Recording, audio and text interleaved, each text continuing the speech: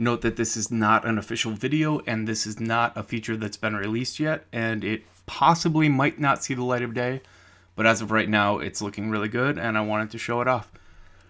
Marked has always had bookmarking capabilities. You could press shift and a number and leave a bookmark at a certain point wherever you were scrolled to, and then just press that number and jump back to those points, or use N and P to jump between them.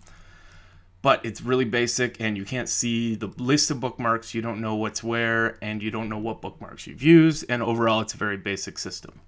So I tweaked it a little.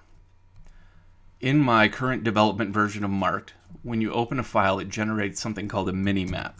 You have to enable this in Preferences, and uh, once the file is loaded, you just press zero and it'll display your entire document at the uh, height of the screen and clicking any part of it will jump directly to that section. If your screen changes shape, it'll regenerate the mini map so you're always seeing exactly what your document is looking like and where the locations you can jump to are. Okay, so back to bookmarking. You can still press shift number just like you could before and jump between those.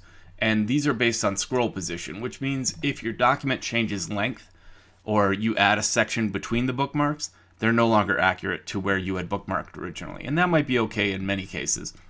But if you want to add a bookmark that'll stay in place, you press option and a number and it'll figure out what the closest header is and then add a bookmark to that header not to the scroll position. So next time you load the document, as long as that header's there, it will still find your position.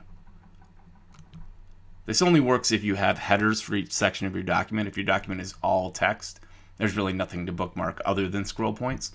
So keep that in mind. But you can clear all your bookmarks by pressing XX. When you add a bookmark and it's closed, it will show you just a small marker on the side of the screen, which is again relative to the position in the document. Down here, it'll tell you, if you use option, it'll tell you what header it decided to bookmark. It decides the header based on, first it checks the visible headers on the screen and picks the first one. If there are no headers on the screen visible, it'll look above the top of the viewport for the first one, and if it doesn't find one nearby, it'll look below the viewport in that order. Pressing zero expands any uh, any bookmarks that you've had as well as the mini map and you can regenerate them they stick on refresh.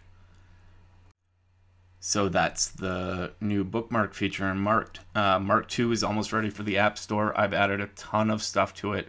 And uh, all current users outside of the app store will get the update for free. And it should be available. I'm hoping I, i'm hoping to have a beta out this week but i'm going to wwdc so you know you never know.